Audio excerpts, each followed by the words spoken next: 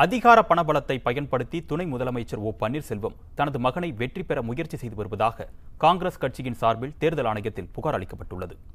Tamil Nadu Congress committee சார்பில் தேர்தல் ஆணையத்தில் அளித்த புகார் மனுவில் தேனிக்கு கொண்டு வரப்பட்ட எழுபது மின்னணு வாக்குப்பதிவு இயந்திரங்களை நீக்க வேண்டும் என்றும் தேனியில் மே பத்தொன்பதாம் தேதி நடைபெறவுள்ள மறு வாக்குப்பதிவுக்கான இயந்திரங்கள் அதிமுக வேட்பாளருக்கு சாதகமாக திருத்தப்பட்டு இருப்பதாக கருதுவதாகவும் தெரிவிக்கப்பட்டுள்ளது.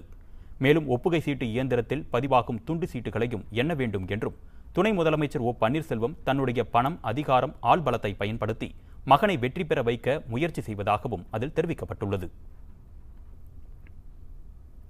நாடாளுமன்ற தொகுதியில் சுதந்திரமாக சுயேட்சையாக தேர்தல் ந- நடந்திருக்குமா என்கிற சந்தேகம் இருக்கிறது. மறுபடியும் இரு வா இடங்களில் வாக்குப்பதிவு மறு வாக்குப்பதிவுக்கு இன்றைக்கு தேர்தல் ஆணையம் உத்தரவிட்டிருக்கிறது. அங்கேயும் சுதந்திரமாக தேர்தல் வாக்குப்பதிவு நடக்கணும்ன்ற கோரிக்கையை வைத்திருக்கிறோம்.